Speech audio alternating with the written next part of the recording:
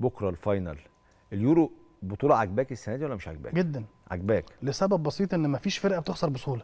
آه. يعني البطولة كلها هنقول مثلا مثلا قريبة. في مثلا حاجة و30 حاجة و40 ماتش آه. هتلاقي ماتش أو ماتشين بالكتير ثلاث ماتشات اللي الماتش خلص فيه ب score صح. بسهولة. لكن لكن, اللعيبة. أول مرة أشوفها المنتخبات الضعيفة اللي زي جورجيا وسلوفينيا وسلوفاكيا والفرق دي تحس إنهم بيلعبوا فعلا على بل- بلدهم.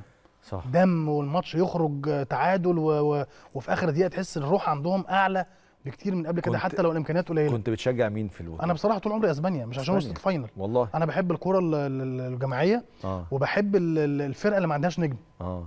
يعني أسبانيا أي حد يعني الناس بس كلها تقول لك لامين يامال أفضل لاعب في البطولة. آه. أنا بالنسبة لي أولمو. أولمو. لأنه أكتر لاعب حاسم في البطولة. صحيح. ورب ضاره نافعة. آه. يعني هو بيدرو اتعور عشان ينزل.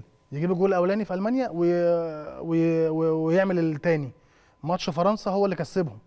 برضه في المجموعات كان مميز رغم إنه بينزل بديل. آه. ف يعني بس لامين يامال آه تحس إن أنت بتقعد وأنت بتتفرج عليه تقعد تفكر كده هو إحنا ممكن يبقى عندنا لعيب في منتخب مصر عنده 16 سنة بيلعب أساسي إيه وبيلعب هو لو في مصر كان زمان هتلاقيه بيلعب في نادي استثماري بيدفع 30000 جنيه في السنة عشان يتأيد. أصلا. خلينا بقى نبقى واضحين. آه. بما ما أعرفش مين يعني اللي اخترع موضوع الاستثماري ده في مصر. آه. أنا مش عارف مين صاحب الفكرة دي.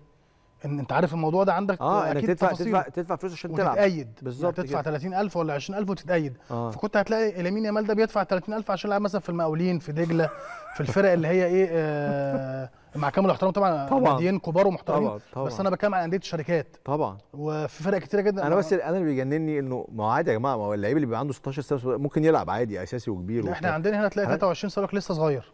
آه. لسه يعني في لعيبة كبرت يعني مثلا محمد هاني دلوقتي بيلعب منتخب مصر يقول لك صغير في السن. إحنا خدنا إن هاني أول ما طلع. يقول لك لاعب الصاعد عنده 27 دلوقتي ولا حاجة آه. يعني ما شاء 28 الله لعيب آه. كويس آه. وممتاز يعني. بس يقول لك محمد هاني لسه صغير, صغير إيه يا جماعة. خلاص هيعتزل ده في ناس هتبطل كم- بتبطل 30 سنة كورة. آه. فهو ال- ال- ال- المنتاليتي عندنا والفكر مم. في الحتة دي لا ده صغير لا ده ما يتحرق ما يتحرق إيه اللي هيجرى له طلعه يلعب ويتحرق إيه المشكلة؟ وياخد فرصة تانية وثالثه ويخلي عندك ثقة وبترجع فيه. المدرب. خلي بالك مش لعيب بترجع المدرب. ما اسمع المدرب عندك هنا هيجي يقول لك إيه؟